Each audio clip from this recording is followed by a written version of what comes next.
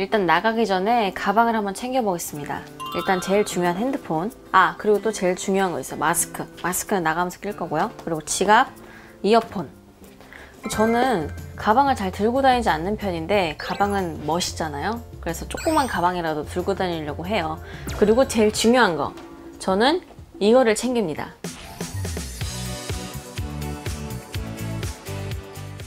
이거를 그냥 쏙 꺼내가지고 식전에 먹는 식이섬유도 챙기면 끝! 이렇게 옷 갈아입고 한번 나가보겠습니다. 좀 이따 봐요.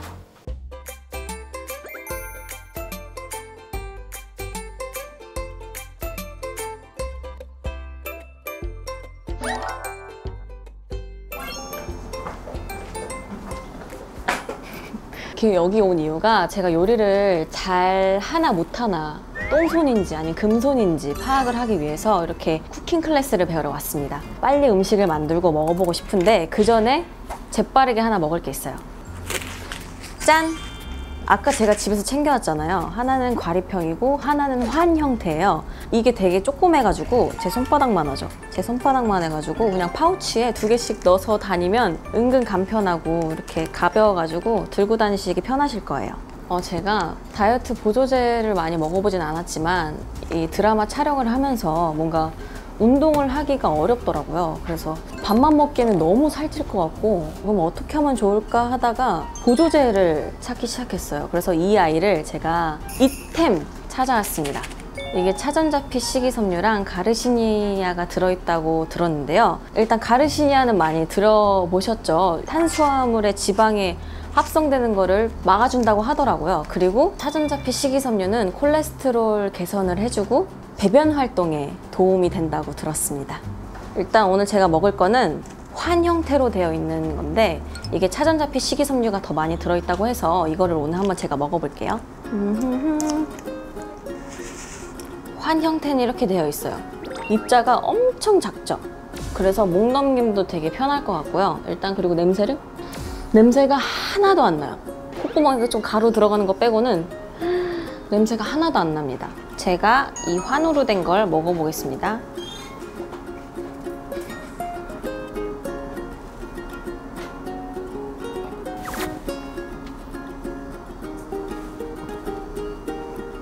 자 이렇게 해서 먹었고요. 하루 이렇게 두 포를 먹으면 차전자피 식이섬유 7000mg 그리고 가르시니아 1000mg을 하루에 섭취할 수 있다고 해요. 저는 이렇게 점심 저녁에 한 포씩 먹습니다. 그러면 이제 요리를 시작해 볼까요? 안녕하세요. 안녕하세요. 오늘 잘 부탁드리겠습니다. 네. 그리고 요리할 때는 딱 머리를 한번 메스 자 오늘 잘 부탁드리겠습니다. 잘 부탁드립니다. 오늘 배우실 메뉴는 육회김밥 배우실 거고요. 네. 제일 먼저 할 거는 쪽파 썰어서 양념장 준비하고 네. 육회 양념을 해서 김밥을 말아보도록 할 거예요. 음. 김밥 말아보신 적 있으세요? 아니요? 이제 앞으로 잘 마실 수 있도록 오늘 잘 배워보실게요. 어, 진짜요? 네. 네. 제자리 썰기. 그쵸? 어 잘하시는데요? 처음이 아니신데요? 잘하시는데? 어 그래요? 네. 오호 저도 썰어볼게요.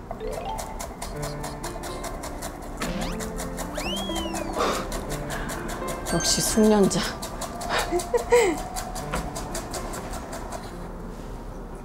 쪽파를 다 썰었으니까 고기 양념을 먼저 해보도록 할게요. 네. 헉, 맛있겠다. 그쵸. 제가 또 김밥을 진짜 좋아하거든요.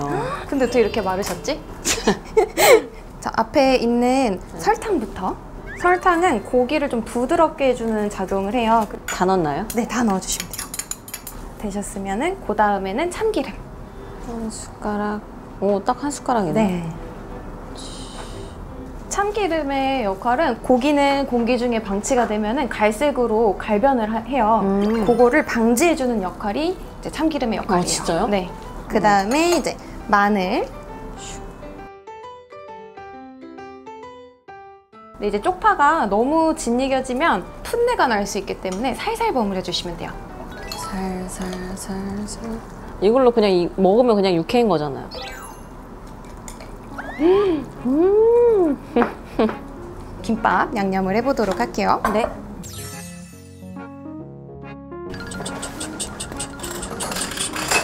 숟가락으로 네. 아. 숟가락으로 이렇게 밥을 가르듯이 섞어주시면 돼요. 밥알이 눌리지 않게끔. 어 잘하고 계세요. 음, 잘해 보이나요? 굉장히 열정적인 모습 보기 좋아요. 자.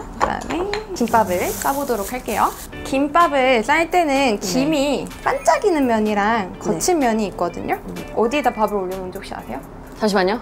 어... 이거까지 맞추면 진짜 찐인데. 거친 면? 맞았어요? 자, 그러면은 거친 면이 위로 오도록 올려놓고 밥을 그 위에다가 올리실 건데 김에 그 줄무늬가 살짝 들어가 있어요. 음. 요두 칸만 빼고 나머지는 밥을 다 채워주실 아. 거예요. 김밥 싸보신 것 같은데? 아니요, 아니요. 보는 건 많이 봤죠. 아, 진짜요? 저희 할머니가 김밥을 많이 싸주셔가지고. 그래서 김밥을 좋아하시는구나. 네. 중학교 때 학교 가기 전에 할아버지가 택시 운전기사시거든요. 네네네. 그래서 새벽마다 항상 김밥을 사오셨어요. 그래서 네. 3년 동안 아침을 항상 김밥으로 먹었거든요. 할아버님의 그 소녀 사랑이 엄청 네. 나시네요. 그때 가장 행복했죠. 김밥을 말 때는 엄지검지를 쓰실 건데 김 안쪽에 있는 부분을 엄지검지로 잡으시고요. 그래서 반을 들어 올리실 거예요. 네. 이 상태에서 나머지 네 손가락으로 재료를 안에 밀어 넣는다는 느낌으로 꽉 쥐셨으면 나머지 반 바퀴는 세 번에 나눠서 말아주실 거예요. 아, 아쉽다. 여기 좀 더 이렇게 넣었어야 되는데. 아 좋아요 임기응용 좋아요 쉽게 말려면 랩을 싸서 이제 좀 썰어주는 방법이 음. 있는데 그냥 썰면 좀 풀리거든요 네. 올려주세요 감싸서 김발의 역할이랑 똑같아요 음. 자 그러면 한번 썰어보도록 할게요 네. 김밥이 안 터지게 썰어주시려면은 힘쫙 빼고 톱질 오. 오. 우와. 어, 이렇게 좀 리듬감. 아, 아. 어, 근데 완전 잘 잘리는데요? 됐습니다.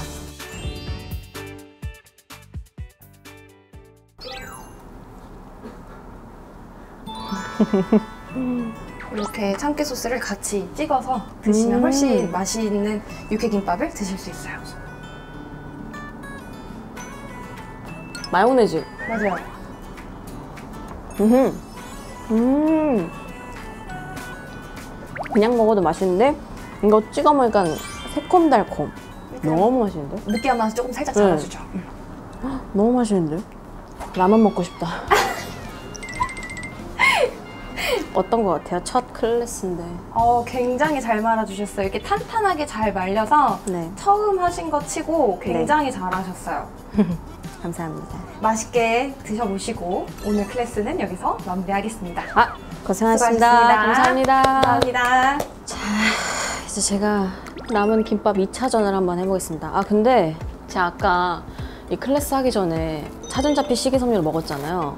그게 몸속에 들어가면 40배가 이렇게 팽창이 된다고 하더라고요. 그래서인지 몇 입 먹었는데 너무 배불러요. 원래 저 이런 스타일 아니거든요. 원래 저 같은 경우는 이거 다 먹는데 너무 배불러요. 그러니까 한 개만 더 먹어보고 남은 거는 집에 포장해 가가지고 라면이랑 같이 먹을게요. 제일 못생긴 걸 먹어야겠어. 아. 음. 아우, 너무 커. 오늘 너무 알찬 시간을 보낸 것 같네요. 이거는 챙겨갈게요. 좀 이따 저희 집에서 봐요. 안녕.